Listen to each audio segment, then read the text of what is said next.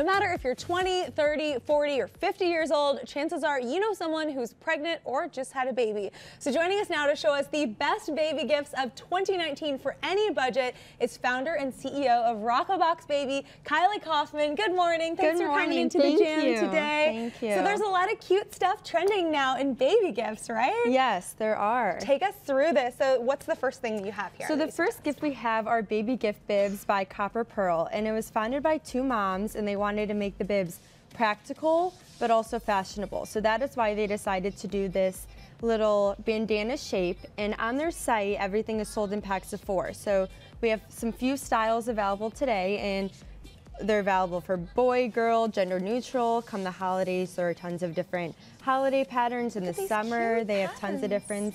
Yeah, so they sell for $19.95 on the site and for a four pack? for a pack of four. Okay, Yep. cool. These are so cute and they're so personal. It's like makes it a little special and different than all your friends, And- right? And, the best part is they do snap in the back and are adjustable, so they'll actually fit the baby up until two years old. oh, that's great.